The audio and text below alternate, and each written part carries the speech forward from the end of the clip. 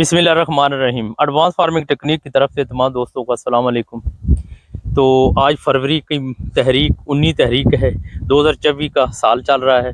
तो ये हमारी जो गंदम आप देख रहे हैं, खेलियों पर हमारी गंदम की काश थी, बितालीस इंच का बेड है और इसमें छः लेने हमने गंदम की लगाई हुई है। तो अब हम करने लगे हैं इंटर क्रॉपिंग गंदम और काटन की इंटर क्रॉपिंग करने लगे हैं। तो अक्सर दोस्तों की काले आ रही थी कि उन्होंने भी गंदम में भी लगाना था, कुछ प्याज में लगाना था। तो उनके लिए भी है ख़ास कर मैंने वादा किया था कि आज उन्नी तारीख को मैं लगा लूँ। टेम्परेचर ठीक हो गया है। सबसे पहले हमने क्या करना है, हमारे पास एक टेक्नोलॉजी है, तीन लीटर हम एक एकड़ में डालते हैं, जिसमें जेंक, पोटाश फास्फोरस और काफ़ी सारे और इसमें जो है बैक्टीरिया है। तो उसकी, जड़ की जो उसके रिज़ल्ट हैं, वो आप स्क्रीन पर चेक करें।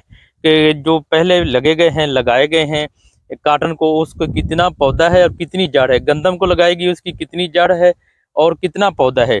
तो अब हम सबसे पहले ट्रीटमेंट करते हैं इसको बीज को, बीज के करने के बाद आगे तरीका आपको बताते हैं। जी, ये देखें, इसके, ये हमारे पास बायोटेक्नोलॉजी दिखाना, हम ये लेकर आए हैं, बनी पे हमारे ड्रम में तो उसमें से लेकर आए हैं, हम ये डाल रहे हैं। कितनी डालनी है थोड़ी इतनी डालनी है कि ये आपका जो है, ये गीला हो जाए। ट्रीटमेंट ये देख लें। हमारे पास ये बीज था तो इसको ये इतने का लाग गई। ये काफ़ी है। आप इसको एक घंटा, दो घंटे, तीन घंटे, चार घंटे, एक दिन पहले, दो दिन पहले इसको ट्रीटमेंट कर सकते हैं। तो ये हमने कर दिया।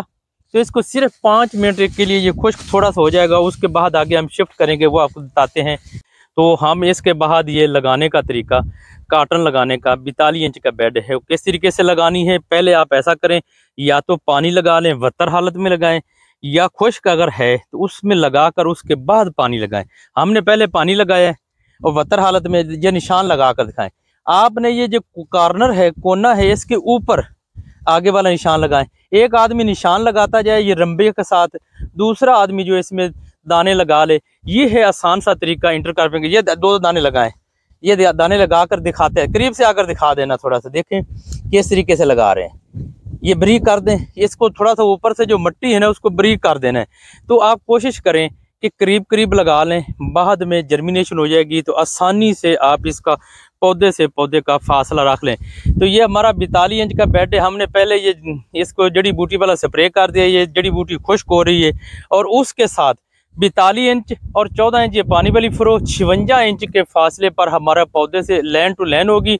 और पौधे से पौधे में वरायटी वाइज पौधे से पौधा जो आप ला रहे हैं, हम लगा रहे हैं, आप लैंड अमेरिकन वरायटी आप लैंड कादावर है जाड़ी नमा है, शाखे निकालता है हंड्रेड प्लस करने वाली वरायटी है। इनशाला जो अब हम लगा रहे हैं और दिसंबर तक इन अल्लाह के हुक्म से ये सौ मन के करीब सौ मन जाएगी इसकी।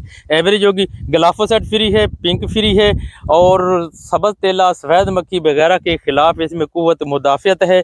कुछ करने पड़ेंगे स्प्रे अगर मौसमी हालात ठीक रहे तो इन कोई नहीं होगा।